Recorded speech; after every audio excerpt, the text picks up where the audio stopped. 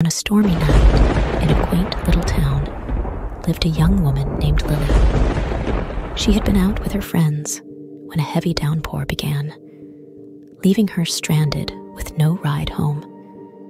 Worried, she called her Uncle Mark, hoping he could come to her rescue. Uncle Mark, always kind and caring, rushed to pick her up in his old but reliable car. As they drove through the rain soaked streets, they chatted happily about their day, laughing and reminiscing about old memories. Suddenly, as they turned a bend, a figure darted across the road, causing Uncle Mark to slam on the brakes. Concerned, he asked Lily if she was all right. But to his bewilderment, the back seat was empty. Lily was nowhere to be seen. Confused and terrified, Uncle Mark's heart pounded in his chest as he tried to comprehend what had just happened. Had Lily somehow fallen out of the car during the sudden stop? Just as he was about to step out and search for her, his cell phone rang. The caller ID displayed Lily's name, but before he could answer, the call disconnected.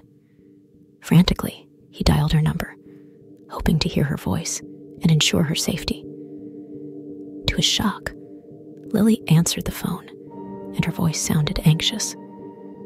She explained that she was safe at home, accompanied by a concerned classmate who had offered to give her a ride. Her phone's battery had died, and she hadn't been able to call herself. Uncle Mark's mind raced with disbelief. If Lily was at home, then who had been sitting beside him in the car? Fear crept his spine as he realized they had encountered something otherworldly. Something that had taken on Lily's appearance.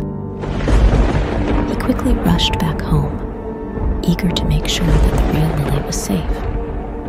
When he arrived, there she was, waiting by the door, looking concerned by his worried expression. Together, they recounted the strange encounter, trying to make sense of what had happened. Uncle Mark shared his chilling experience, and Lily revealed that she had felt a sudden shiver down her spine while talking on the phone, as if something inexplicable had happened. They came to a startling realization. They had encountered a doppelganger, a mysterious entity that takes the form of someone else. It seemed that the doppelganger had mimicked Lily try and lure Uncle Mark into danger. From that day on, Uncle Mark and Lily were wary of the supernatural forces that could dwell in the darkness.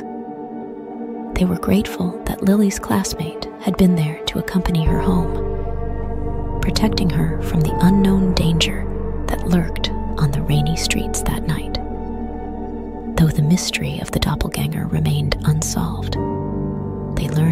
trust their instincts and to be cautious of any strange encounters.